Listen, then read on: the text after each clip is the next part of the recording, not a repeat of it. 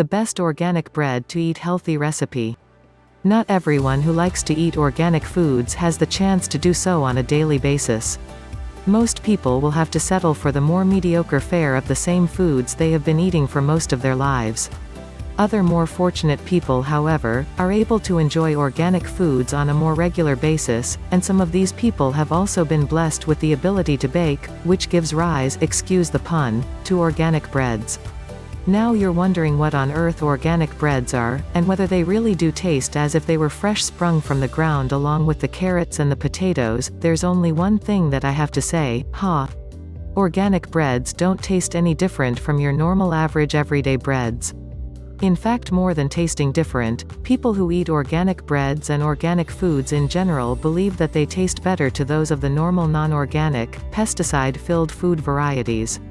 This is of course a hotly debated topic, because how can any one person truly accept what the taste buds of someone else are saying?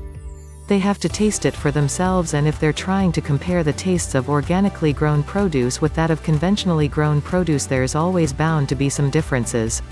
That aside however, organic breads taste the same as normal breads and they are made in the same manner as normal breads.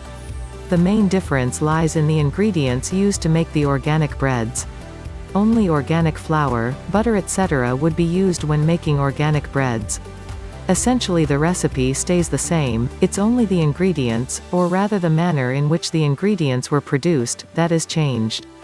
Organic, for those of you who are unaware of it, is a term, or a definition of a farming process which shuns conventional methods of farming.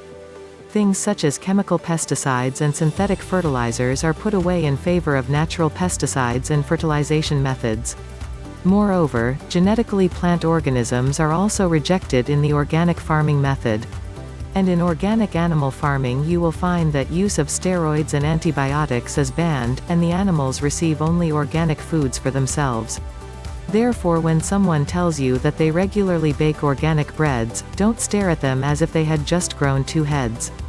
All they have done is to continue on with their normal baking routine substituting organic products where necessary to make the organic breads.